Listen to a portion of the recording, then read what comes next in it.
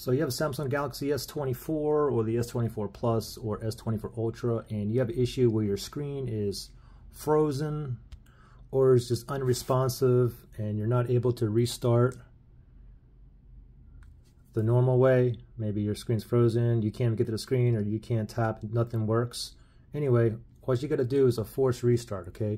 It's a two key combination. What you wanna do is hold the volume down and the power button. Press and hold both buttons together and just keep on holding for about 30 seconds or until you see the Samsung logo appear. So we'll do it together. Pretend my screen here is frozen on an app or whatnot. Volume down, power, ready, set, go. Press and hold both buttons. Now keep on holding, do not let go until we see a Samsung logo appear. Again, this typically takes about 30 seconds or so.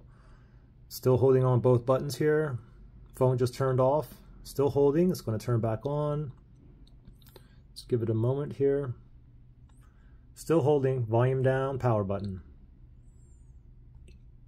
Come on, where's that Samsung logo?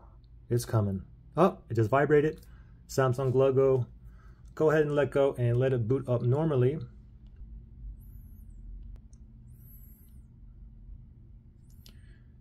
And now hopefully you're out of the, uh, now hopefully your phone is not frozen or unresponsive. It is, just do the force restart again, the two key combination, okay? Good luck guys.